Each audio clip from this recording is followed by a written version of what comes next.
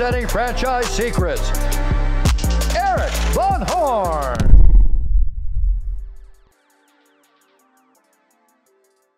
If you're not a part of the Franchise Secrets Facebook group, what are you waiting for? It's franchisesecrets.com slash Facebook. I cannot believe how valuable this group turned out to be. When someone asks a question, the feedback is honest, authentic, very helpful, and it's from multiple perspectives. If you're not sure that you're getting the most accurate information about franchising, then check out the largest, most helpful Facebook group in all of franchising. Whether you're a Z, a ZOR, a buyer, or investor, join our free Facebook group at franchisesecrets.com slash Facebook. Welcome to the Franchise Secrets Podcast. Your host, Eric, here today with Casey Cavell.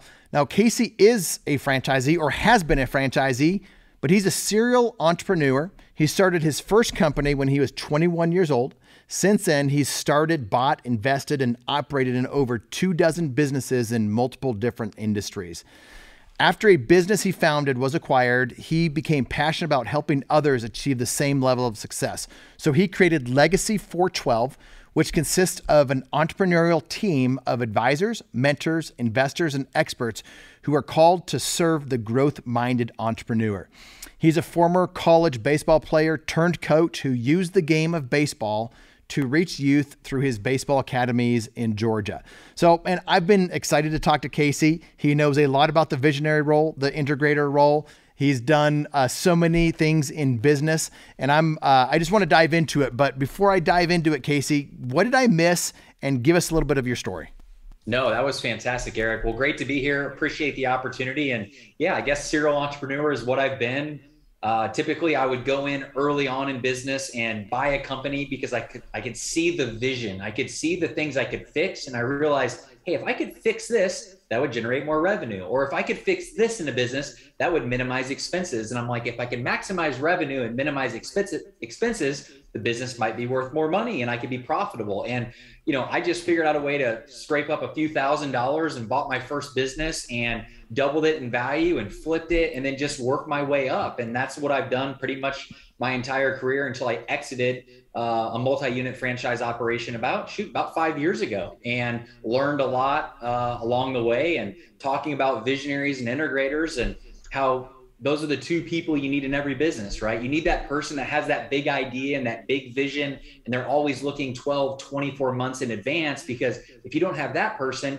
you're not getting those new ideas. You're not figuring out what are the strategic opportunities in this industry. But if you don't have that second person in charge of executing the vision, making sure that long-term you know vision happens and managing the people and the processes it's really hard so i kind of figured out a way to go from being both a visionary and integrator the idea guy versus the executor to really just sitting in one seat in the organization because I burn out in businesses because I was doing everything and I realized I had to figure out what was unique to me. And once I figured that out, I surrounded myself with a team that could complement, you know, uh, my strengths and allow me to focus on what I do best, and then delegate everything that I wasn't strong at. So, so what are you? Are you more visionary or are you more integrator?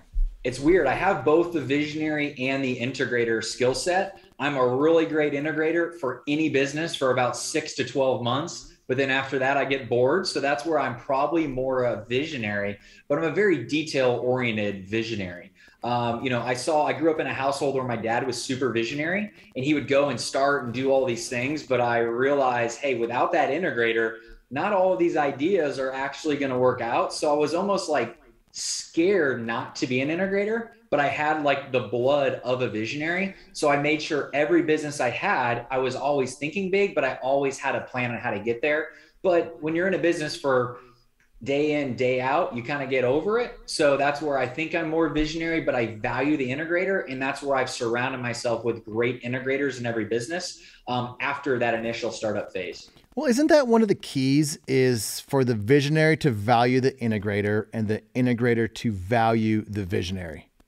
Sure, absolutely. Because what an integrator right can do a visionary can't or doesn't want to and what an integrator can do right a visionary shouldn't be doing it so absolutely they both bring two separate skill sets and two separate roles to the business and you need them and you need each other and if you can value each other's opinion you're going to be in great shape well a lot of people, I've had Gino Wickman on the podcast. People know, should know uh, traction and rocket fuel and all of that, but that's really where these terms are coming from. So, can you give us a little bit of background on Visionary Integrator and then your connection with all of that? Sure thing. Yeah. So, so Traction is an operating a book uh, written about EOS, which is like an operating system. It's like the engine under the you know under the hood, right? It's like the thing that every business needs, where it organizes your people and your process and your execution. It's just like the way that you can manage people's energy and focus people on what's important. So that's like the structure. Now, the visionary and integrator are the people that are really like doing the stuff, especially the integrator. The integrator is the one driving the car and making sure the car stays on the road, right? The visionary is typically the one that's trying to get the car to go off the road and do crazy things. But the entrepreneurial operating system, which is EOS, is the structure that helps you develop a plan, the integrator is more or less the COO, right? If you looked at like corporate language, chief operating officer, visionary, more CEO. And Mark C. Winters and Gino wrote a great book called Rocket Fuel where it talks about that relationship.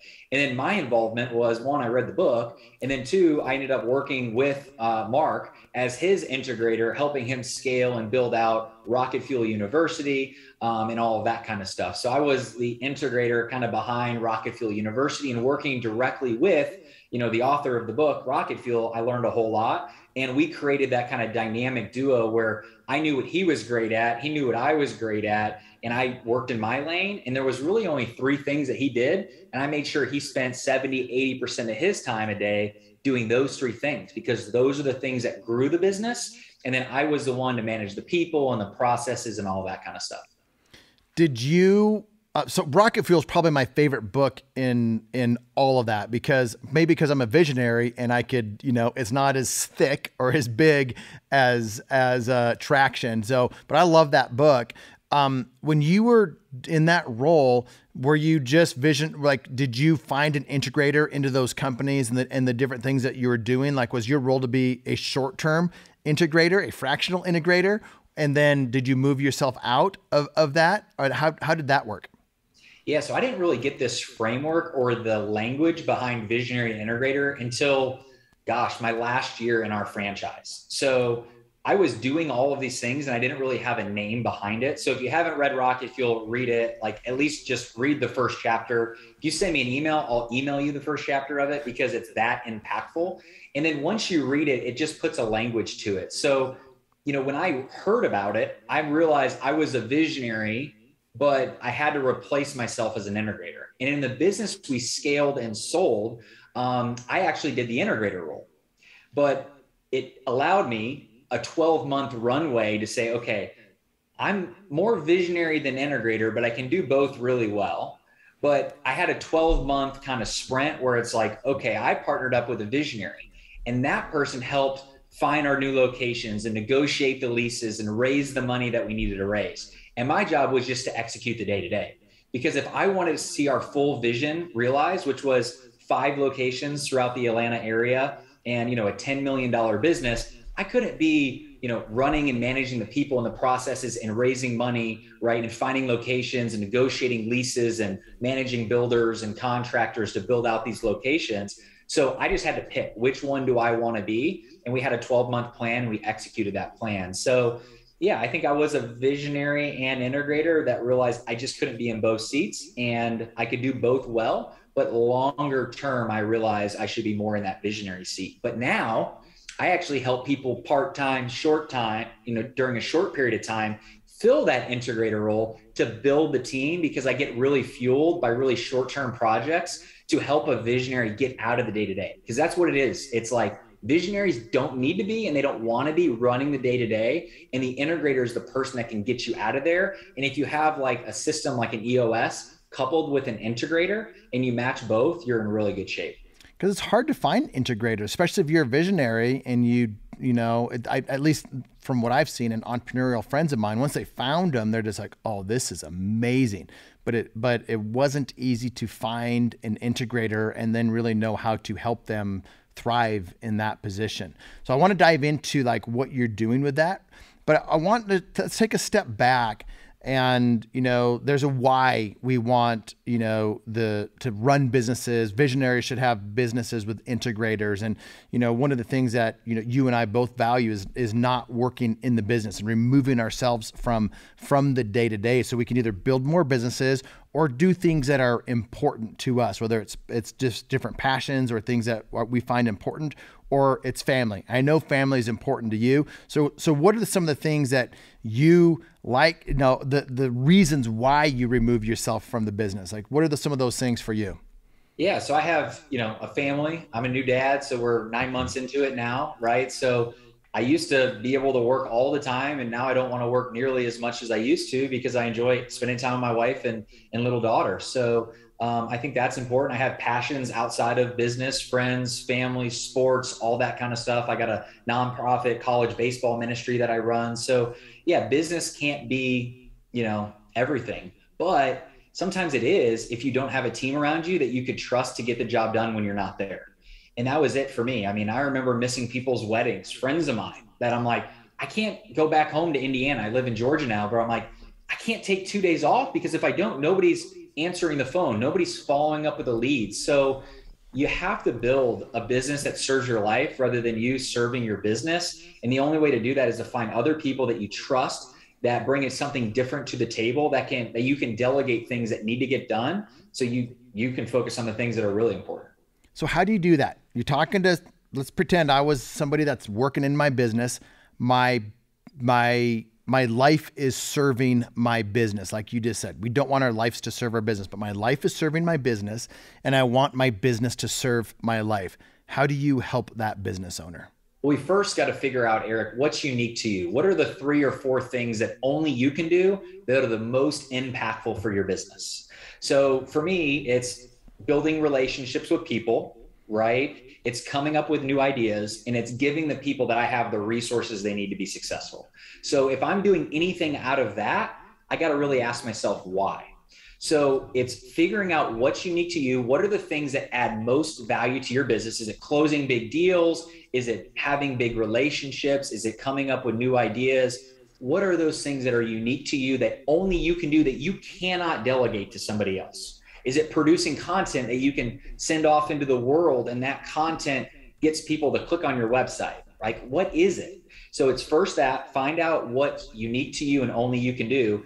And then then start making a list of all the other things that you do once a day, once a week, once a month that you don't necessarily want to do. That you're like, you know what? I don't want to do this. It's not really adding a ton of value to the business. And if I could replace doing this with more of whatever those things are that are unique to you, you're going to be better off. And then it's just starting writing a, a few things down each quarter that you want to delegate. If you're managing the finances or doing the books, you don't want to do it. Write it down. Find a CFO. They might be better at the job than you. Uh, they might like doing it more because I find if I do stuff but I don't like it, I'm going to get burnt out. So find the things that are unique to you. Find the things that you're doing today that you don't want to do 90 days from now, and then start figuring out okay who can do this job whether it's somebody already in an organization or you need to bring somebody else in. And what i realize is if you can start delegating things that gives you more time. If you have more time you could focus on growing your business. You focus on growing your business you make more money. You make more money you can afford those people to do those jobs. What i find is a lot of people don't want to invest in people.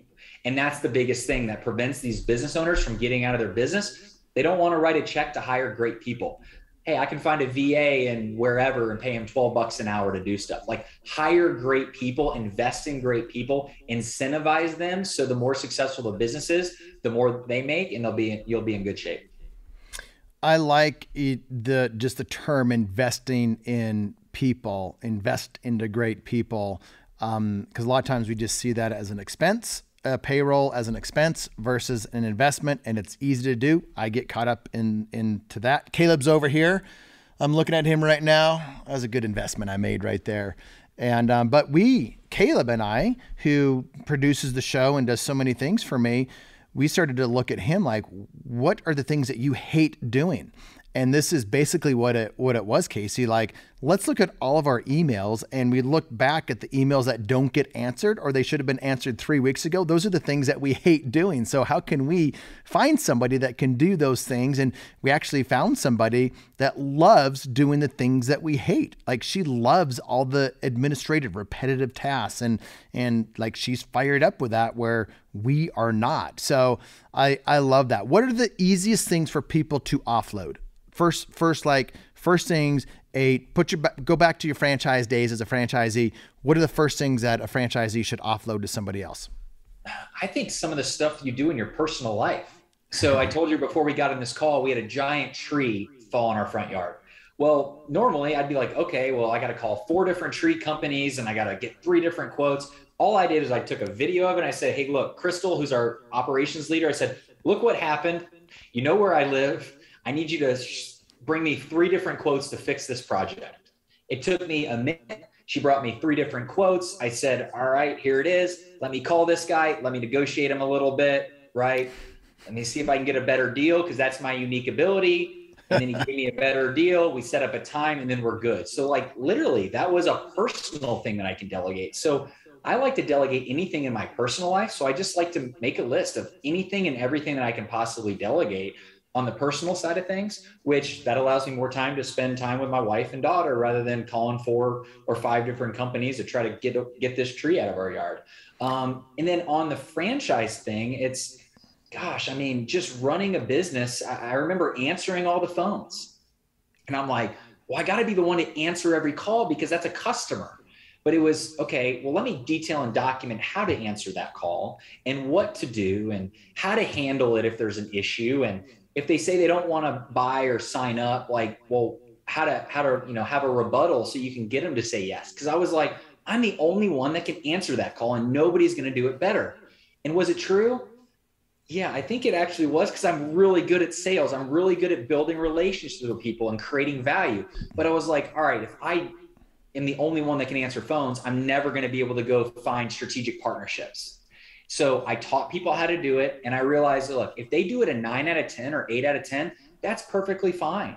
That gives me more time to go focus on creating partnerships with other organizations that could bring more phone calls. And I realized my job is to bring in 100 phone calls and then get answered nine out of 10 or eight out of 10 rather than just have 20 phone calls and they get answered a 10 out of 10. So it's just pretty much anything that I'm doing that I think I can train somebody else to do 80% as good as I ever could. And then figuring out the things that I'm just not great at that I need to bring an expert in. I'm not great at financials. I need to bring a CFO in. I need to bring a bookkeeper in. And that those are the things that I started with. I think those things are easier when you're not good at something and you can hire that out. But I love what you said. You know, you were good at the sales, the phone calls, and and with the customers, and you know that you're going to delegate that and it's not going to be done as well but you were better at bringing in more leads and more people to get higher and, and more revenue. But what's the roadblock? I mean it sounds so obvious when someone's listening. They're like yeah that makes more sense but they're going to probably be here a year from now and not have delegated what's the what is the thing that helps somebody to actually start taking action? Or is it just action takers take action and and people that are not people that are not really entrepreneurial they're just going to own the business or the business is going to own them? Like like what is it that causes people to take action and others just to stay stuck? I had to remove myself and my own identity from the success and performance of the business. I had to realize the business is the business, but it's not who I am. Mm-hmm. Because I wanted the business to be perfect in all things. Like if I had a friend that came and joined, like I wanted everything to be perfect. But what I had to realize is when you go to any restaurant or any other business, it's not perfect there, right? So why do I expect it to be perfect at our business? So I had to realize that if everything's not 100% perfect, done 100% awesome all the time, like it's okay a nine out of 10 is okay because no business operates perfectly. So that's what I had to do. And then say, you know what? It's okay if not everything's okay all the time. And that's just part of the game. And if somebody makes a mistake, I'm okay with it. We learn from it and we improve. And early on, I was really hard on my people. And if it was not excellent all the time, I told them, and they burn out and they would work really hard for six months, but then I'd have to replace replace them, and then I'd have to train somebody else. So that was what was really important. I mean, there's that book, Good to Great. Like, yeah, I think we all want to be good to great, but I'm like, I just want to run a good business. I want to run a good business. I don't want to have to just live and breathe and die, you know, die over this thing to make it perfect and great all the time. So that that helped me a little bit. And I still fight that every day because I want to be excellent at all I do, but I got to realize that good is good enough sometimes. How do you do that? How do you do that? Or what did you learn on managing people and helping and knowing that they're going to be an eight out of 10 and not a 10 out of 10 and you being okay with that and you helping them helping them be the best that they can be but knowing they're not going to be as good as you at it like was it a mental thing that you had to just get over or were there things that um, like how, how did you become okay with a with an 8 out of 10 versus a 10 out of 10 i'm still never okay with it but i just realized that's the reality that we have that as a business owner they're not going to care about it as much as you do um, because if they did they would be the business owner. Um, now i wanted to find people that one day wanted to own a business because i thought those are the people that i could really promote and really give opportunities to. And that's what we did in our business. I found our top players and I really, you know, trained them, taught them, um, you know, helped them become the best version of themselves. And they eventually left me, right? Which was great because they went and started their own business, which was awesome. So we had three of our top employees went and started their own franchises from our, us, which was amazing and awesome. So, I mean, I don't think I'm ever okay with it being an eight out of 10, but what I'm more important and more focused on is being a great husband. And I realize that if I'm at the office at midnight trying to figure this thing out, like I'm not going to have the energy for my family. So I just want to run a really good business that makes an impact in people's lives. I want to give people opportunities to grow personally and professionally. And I think if you do that in a business, give your employees opportunities to grow as a as people, teach them to win at work, but also teach them to win at home. And if you give them opportunities to grow professionally as well, and you know tie in tie in some incentives and all that kind of stuff, you'll be in good shape. I like that, and I've had I've seen a number of comments in the Franchise Secrets Facebook group about how do you help employees grow personally. Like, what are some of the things that you've done that you've seen success with in in de- helping your employees develop as a better man, as a better woman, yeah. better father, yeah, we just like to ask the question like, what does success look like? Let's say me and you are sitting here talking in three years from today. Like, what has to happen for you to be, you know, happy with your professional progress and your personal progress? Like, what does that look like? Like, paint me a picture three years from today. What has to happen? What's life look like at home where you're happy, where you're fulfilled? And what's life look like at work? And we do that in the interview process because I want to make sure what they want personally and what they want professionally is going to line up with what we need. Because if we can help people get what they want, we're going to get what, what we want.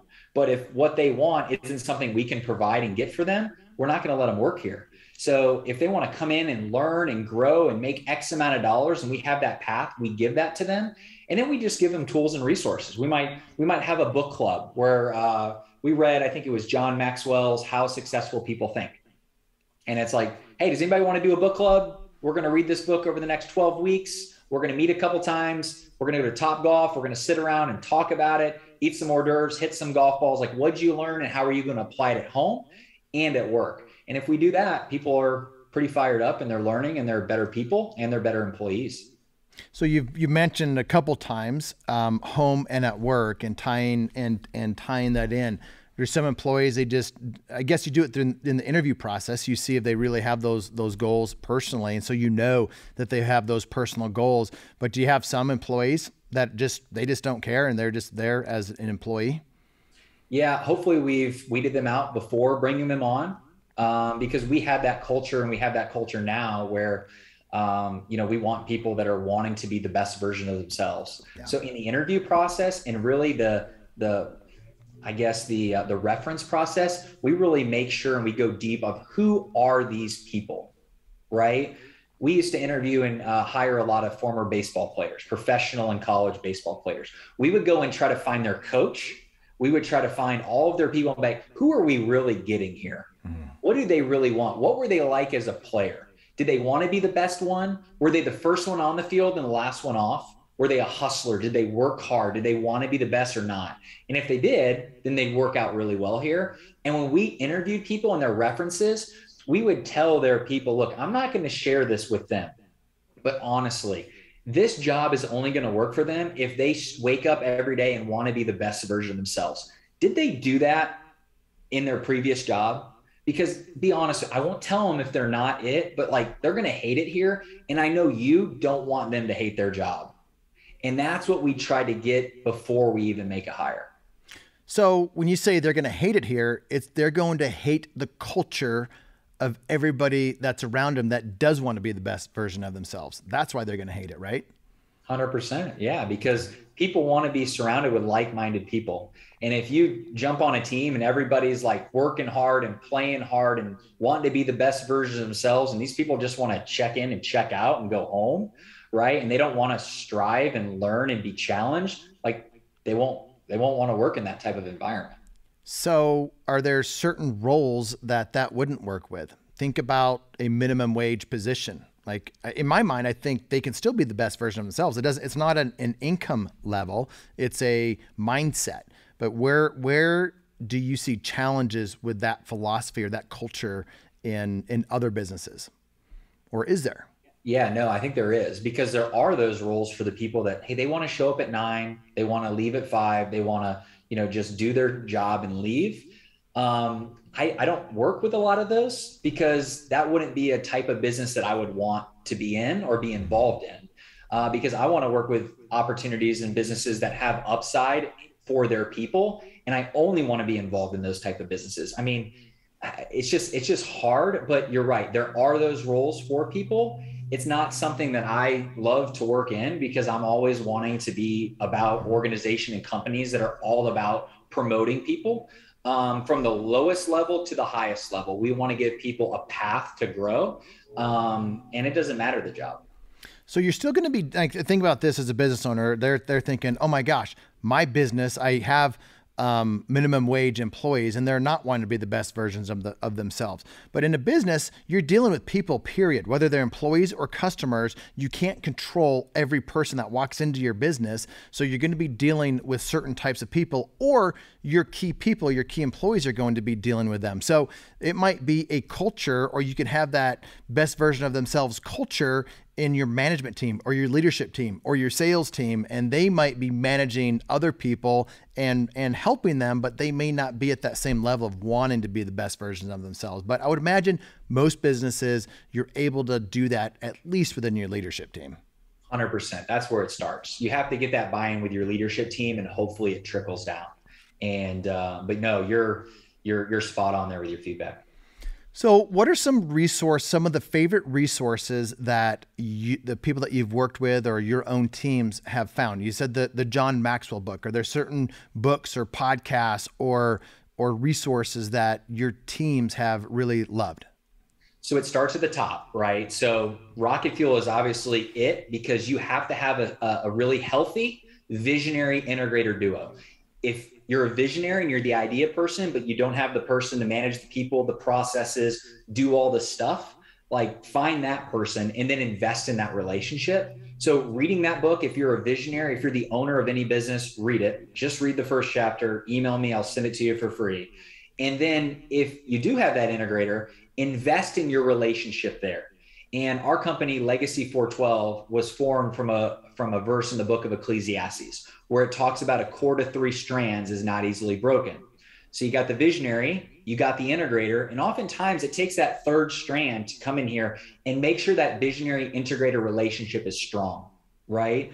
Um, and if that's strong, then every other relationship in the business is going to be good. So start there. And then on the leadership team level, it's all about leadership and management. If you lead people well and you manage people well, you create a culture of accountability. And there's a book out there called How to Be a Great Boss, another EOS type book. And it's it's very simple. People will actually read it. You can read it an hour and a half, two hours, and that's the best book for leadership um, and management throughout your entire organization. So those two resources are the best. I think Caleb just ordered that book for me on Amazon, if I'm not mistaken. He heard you and he ordered it, so uh, we'll see. But I haven't I haven't heard of that book, but um, I'll get that and read that. I love smaller books like Rocket Fuel and and whatnot. Give me some. I want to go into Legacy 412. I want to dive into that a little bit more. But but before that, what's it? So Mark wrote that book, Rocket Fuel, and you worked with him. What is it? And he's a visionary What's it like? Give me some examples of him or your relationship with him where you just saw like this is a visionary through and through. Like like what did you notice about him that was so visionary and what did you admire about that? Yeah. I mean, he knew what he was great at. He said there was three things that he should do. He should learn new things, create content and deliver that content to our target market. And we had to handle everything else. Uh, how to turn that stuff into revenue, how to turn that revenue into people that are happy happy they actually bought it, um, and they not only are they happy they actually bought it, but they referred it out to other people. So he just knew what he was great at, and he was really self-aware. And then you know my job was to make sure the majority of his time was spent doing those things throughout the week, and then handling everything else on the back end. Do you think there's ever um, imposter syndrome? It's like, I'm only good at these three things. I think I should be good at something else, or I think I should be good at some, you know, as a visionary. You know, I've seen different visionaries. I've had conversation with them, and I and I see imposter syndrome uh, creep up. And or is it just that they're so they know they see the value in that, or maybe it's imposter syndrome until they see the value and they've had that validated with the right team that they're able just to pour rocket fuel on that. Like, what have you seen with all of that? I know there's a lot jar- jarbled up there. Yeah, no, I mean, I think it's just trying to figure out what actually moves the needle in your business. I mean, we're all in business to make money and make an impact. And I love making money because it gives us opportunities to give that money away, to invest that money in our people. So it's really as a visionary, it's figuring out what do I do that really moves the needle? What do I do that makes the company more money? And then figuring out, okay, well, how do I do more of that stuff? And then what are the stuff I do that distracts me from doing those things? Well, we both like to make money. We both like to invest money. We've had conversations on investing money, and we both like to give money. I just uh, got off a conversation with someone that is in, I think he might be in Ukraine right now. He's going from Poland into Ukraine. That was about two hours ago. He said he was going to be in there, but he's um, working with a group that I help him connect with that's really rescuing orphans out of Ukraine and and uh, helping prevent child trafficking that's happening in a major way right now with the, with the war that's happening.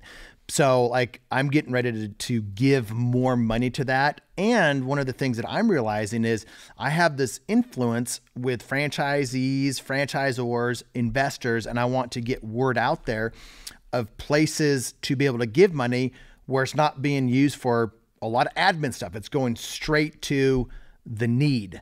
So I've never really talked about this type of thing on the podcast, but I know like your background. Like, what are the areas that you like to give? Where do you like to invest in charities? Yeah, so I think the best place to invest is your own time because that's the most valuable. Anytime you're spending your own time, it's the most valuable. But then I think once again, it's figuring out what's your unique ability and how can you use that to either start your own thing or help something else. So the way that I look at it is if you want to make an impact, like what keeps you up at night? Like what brings tears to your eyes, right? Like what what breaks your heart? And then that's where I like to get behind things that break my heart because it's like, man, that that really hurts. And that's what I got in. So I got in uh, college baseball ministry because it broke my heart that I was an 18 to 22 year old kid that played college baseball that was lost as could be, and nobody was there to help nobody was there to ask me how I was really doing. And then seeing other people go through that, it broke my heart. And then I invested my time, but now I'm investing my resources, which is connecting with people, sharing the vision with people, and raising money to help more people do that. So that's the way that I've looked at it. And I think everybody should have something outside of their work and outside of their family that they're invested in to help. But I'll say this the most important thing you can do is have a great house and a great home and a great family. So invest your time there first before doing anything else. I love that. And it's easy to be caught up in doing in saving the world and when your own house is on fire or things aren't shored up there. So I I love that. All right, let's talk about Legacy 412. Like what is that? You, you you dove into it a little bit, but let's go deeper into that and how like what you're doing today and how you're helping businesses. Sure. Yeah. So our whole, you know, our focus is helping business owners remove themselves from the day to day. So, you know, our typical company has anywhere from five to 50 employees typically. Um, and it's a business owner and they're growth minded. They want to build their business out, but they're stuck doing all the day in, day out stuff to just run the business. But they're like, I have a bigger vision. I have a bigger mission. I don't want to do all this stuff. I want to focus on the three or four things I want to do. And I need people to help me get out of the weeds so I can do what only I can do. And then we help by first talking to the visionary and really developing what is your vision for the business and then what is your vision for your life. Because you don't want to build a business that doesn't align with the vision you have for your life. And i find that a lot of visionaries don't really have a clear vision. They have all kinds of ideas and vision but it's not very specific. So we help visionaries first understand where do they want to go as a business will that success get them what they want at home Okay. And then what are the resources and tools you need to be successful? And what are the obstacles and the biggest challenges that you have to make that vision reality? And then we give the tools and resources that we've used in our own business to help them get what they want. Because I think a lot of like advisors, coaches, consultants, they haven't actually been in the shoes of the people they're working with. And it would be like hiring a golf swing instructor to fix your baseball swing. Like they don't know how to hit a baseball because they've never done it. Now they know how to swing, but they're swinging something that's just different. So what makes us unique is like we've been in the shoes of these business owners that have it all on the line and they want to create and they want to get out of the day to day. So that's where we start. What's your vision? Does it align? Mm-hmm. What are the resources and, and, and tools you need to be successful, but what are the issues that you're currently experiencing? How do we help you solve those issues to get you more time back? Because we believe if we can get you more time, you can invest that time to grow, scale, build your business, and take advantage of all the opportunities that are out there. So, what does a vision that is not clear look like and what does a clear vision look like because you said most people come with a vision that's not super clear and then you help them clarify that. So, can you give me an example of an unclear vision and then what a good clear vision's like after you've worked your magic? Yeah. So first, it's written down. So you gotta you gotta write it down, and it's probably tested and looked at by a couple other people that say, you know what, that makes sense. That's attainable. So write it down. Work with a couple people that say, you know what, that that makes sense. If you do that, like that would be amazing. And I believe that's actually going to get you what you ultimately want out of your life. And then is it attainable? Is it realistic? So first write it down, clarify it, run it by a couple of people that you trust. And I feel like a lot of people don't really do that and they don't have an attainable vision. So, you know, uh, I'm trying to think of just examples of what we have. I, I think it's got to be measurable. You got to be able to measure it. It's got to be very specific and it's got to be attainable. And if you can do that, it's a smart goal. And they talk about that a little bit, um, you know, regarding smart goals around got to be very specific, very measurable, very attainable. Like we want to have five locations. Okay. You want to have five locations where? What locations? How much revenue do those businesses make? What is the profit of those businesses? How many employees do you have? Like that's where you got to get really deep and really specific. And I feel a lot of visionaries, it's hard for them to get there because they don't know the questions to ask of themselves. And it's more fun just doing a bunch of stuff than actually sitting there and planning. And the planning is the hardest part, but you have to have the right plan because without the right plan, you're not going to get, you know, that ultimate vision. So, do they need to work with an integrator on that, or is that where they need to hire the integrator, or is that where they need to hire you to hire an integrator to work it all out? Yeah, I mean, an integrator is going to help execute the plan, but without the right plan, it's not going to really get you there. Um, so that's where we start. We we spend just a few hours with people and ask ask our clients really good open-ended questions. We get all that data, and then we we work into a session. Okay, all right. Well, I think this is your vision. Let's go deeper there. Let's get a little bit more specific. How are we going to measure that? And then I ask them, okay, what are the biggest things preventing you from getting there? Because you have to start there because if you just jump in with an integrator but there's not a clear vision the integrator is not going to know exactly what to do and how to do it and you're not going to align. So whether you're a visionary without an integrator you got to clear the vision and if you already have an integrator you got to make sure you're on the same page and i see a lot of visionaries integrators are not on the same page regarding what is the vision and then what's the best way to get there because what i find is you got the three year vision but it's okay, what are the next steps we need to do in the next 90 days? And I find a lot of business owners do the do the right things, but they do them in the wrong order. Because hmm. if you right things, but if you don't do them in the right order, it doesn't really matter and you're actually putting the cart before the horse. So what are those some what are some of the right things in the wrong order? What have you seen? Uh, let's see. So working on a, another business right now where um, we've already built or they've already built a website they're building it out, but the messaging isn't unique enough. Like it's not going to resonate because it's too broad and it's too vague. Right. So it's like, hang on, before you do anything, you really need to know like who is your target market? They don't really know specific enough. And then I'm like, what is the message to the target market that's going to get them excited? So that's just one example. It's probably a bad example, but no, I think that's a pretty good example because I would say there's so many business owners out there that franchises out there that don't know their target market. They don't know their target market for franchisees. They don't know their target market for their customer. And if you know your target market and you've asked yourselves the right questions with that, then you know how to market to them. But if you don't know their pains and and their aspirations and their goals, and you don't ask the right questions to get them, versus just saying what are their goals, you need to find out emotionally what it is. There's good questions to ask to be able to get to some of that stuff. You don't know how to market to them, so you could just say we want franchisees, or we want people that at want acai bowls, or whatever the or that want to be fit there's you can go deeper and niche down into your target market. And I've just seen so many business owners and franchisors that just they don't want to do that because they want they don't want to miss out on a possible lead. Sure. Yeah. And I mean, early on in our business, so we owned a franchise called DBAT Baseball and Softball Academy. It was a baseball and softball academy. So baseball and softball, that's really wide. That's really vague. And it's like, well, who's our target market? It's baseball players. Well, that's like a lot of people. We had to narrow it down. Okay, well, is it men's league? Is it professional baseball players? Is it this age group or that age group? And we niched it down to five to 12 year olds.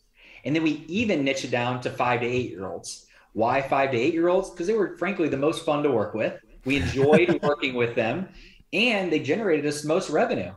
The five to eight year olds, moms cannot say no to a five or eight year old. Hey, mom, can I have this? Mom, can I do this camp? Like they can't say no. But by the time they're like 10, 11, 12, especially they're teenagers, the parents are like, no, you're not doing that. You can't do that. But like we made the most money off of them. Okay. They had the most fun and we had the most fun serving them.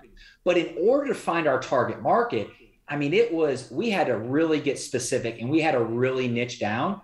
And then our niche over the competition was hey, look, you're going to have fun and you're going to learn something new. And that was our thing, which the competition was going to try to make all of these baseball players, you know, major league baseball players, when all the moms wanted, right, was that make sure they had fun, but the dads wanted them to like learn something new. So we hit what our target market wanted. We had more fun than anything doing it. We didn't have to deal with a bunch of teenage kids, right? That thought they were going to be the next MLB player. And they didn't even need help because they had it all going on anyway and they weren't going to pay for private instruction. So I think, yeah, I don't think a lot of business owners really know who their target market is. How are they actually going to prove that they're unique above the competition? Because if you don't do that, you're selling a commodity. Yep. Um, and then making sure the vision is realistic and attainable. Dude, I love that. I'm dealing. I'm doing that with my franchisors in my franchisor mastermind, helping them with franchise development, and that's the first thing that we're doing. Going into the target market. I'm taking them through multiple exercises to be able to do that. And once you do that the right way, you ask yourselves the right questions and the right follow up questions when you're not really thinking about an ideal avatar or ideal customer. You come up with things that that um, they're going to help you in your, like you said, marketing material, your copy, your just so many different things. So sounds so simple, but I heard you get fired up. You're like, wait a second, yeah, this is how we niche down in the baseball market. And like that's amazing, niching down to that much, and even just uh, you know having fun and learning something new. So, what are we missing? What haven't we talked about that you think the audience of franchisors, franchisees, and franchise buyers should know about the visionary integrator role before we wrap up and I let you uh, get back to your family? Look, probably a hundred different things, but at the end of the day, only a few things really matter right? And i think that's the toughest thing for any business owner is to focus on the 20% of this conversation that you think will make the biggest impact. I would say listen to this again make sure when you listen to it write down whatever you learn and then take action on one or two of those things. But what i would probably say if you're a business owner if you're that visionary that idea person you're seeing it out there you need to have an integrator that can help you execute that plan. If you already have an integrator invest in that relationship. Get that third cord get that person that could come in and make sure your relationship is strong. They're asking the right questions of your relationship. Um, you know ask your integrator how am i doing? How am i really doing? How can i improve? How am i making your life harder than it needs to be? Give me some feedback. So i think visionaries asking for feedback from other people on the team is really important. Um, and then just focusing, having a plan, having it written down, having it vetted by certain people, and then making sure you have somebody on your advisory board or in your corner that's already done something similar that you that you're looking to do. Because if you want to go build a $10 million business, have somebody on your team that's already done it. Have somebody that's already walked the path that you're about to walk on your team that you could call that that that can ask you the tough questions. And I think a lot of visionaries don't have that and they don't like being asked tough questions. So just be open minded and be willing to get feedback from other people that have been there and done that. I you you mentioned something that I have to ask. Um, advisory board. What have you? Because I'm I'm getting ready to be on some advisory boards and having advisory shares and and whatnot. What have you seen the value in companies that have advisory boards? Yeah, so I think it depends on the size, but I think it's just other people that can challenge what you're currently doing ask tough questions um, and bring some kind of unique skill set to the equation. So don't have four marketing people on your advisory board like have one or two right uh, you know have people that are great at raising money on your advisory board but don't have all six people so just have you know if you look at your business you got sales you got marketing you got operations you got finance you probably want to mix up the advisory board with people that are an expert in each of those groups, but make sure you have somebody on your advisory board that's already built something that's been part of it, that's been an owner of what you want to eventually build because they've walked the journey and they'll be able to help you, you know, avoid some pitfalls that you might not know exist because they've already been there. Love it. Great advice. Casey, thanks for coming on, dropping some wisdom. How can people find you? Yeah, absolutely. Just go to caseycavell.com, C A S E Y C A V E L L dot com. You can learn more about our company, Legacy 412, um, and all the other things that we do. So, yeah, caseycavell.com. You go to our website, also at Legacy, and then just jump on a call with me. If you have questions, ideas, if you're a business owner, I want to help you. Free call. I want to get to know your story, get to know where you're wanting to go, and I'll give you some tools and resources that have helped me free of charge. Thanks a bunch, man. All right. Thanks, Eric. Thanks for listening to this episode of the Franchise Secrets Podcast. Whether you're watching or listening, please make sure to subscribe to my YouTube channel and to whatever channel you're listening on. If you want my help with anything from buying a franchise to franchising your business, please visit franchisesecrets.com.